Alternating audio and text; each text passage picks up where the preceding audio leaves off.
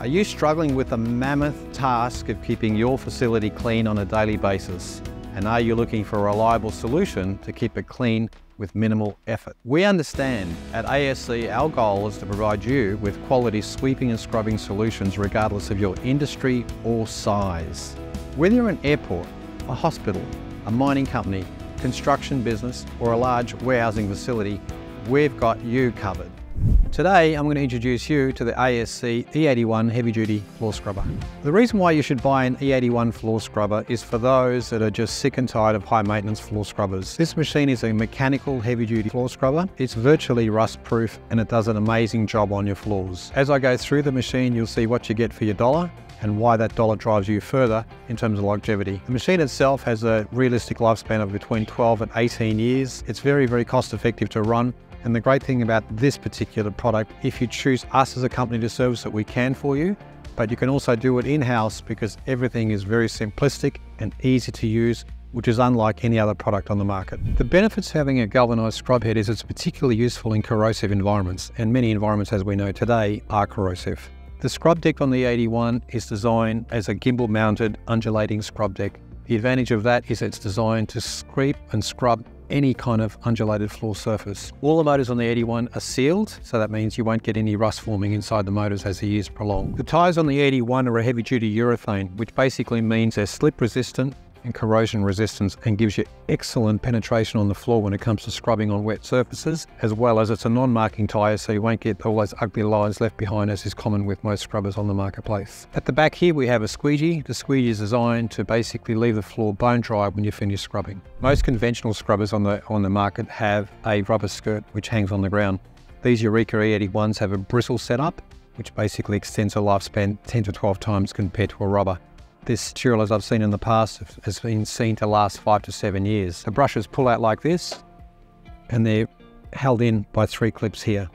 The brushes here, we this is a polypropylene brush. You can get an abrasive brush or a pad. So subject to the type of floor that you're trying to scrub, we'll have a brush or a pad that will suit your floor needs. So let's have a look at the back of the machine. Well, for starters, we have a control panel here to make the machine go forward and reverse. We have these levers here. You push forward to go forward, reverse to go backwards. There's a chopper in there and a potentiometer that can vary the speed whichever way you want to go. As we look down here, we have a squeegee that hangs down here and it lifts up and down like this. It's cable driven, no need for electronics whatsoever. It's all cable, basic, easy, easy to service, easy to replace, and it has a lifespan of 10 or 12 years before you even think about replacing it. The squeegee itself here is a parabolic design, so for me to take this off, it's just a matter of undoing these wing nuts down here as I push it out,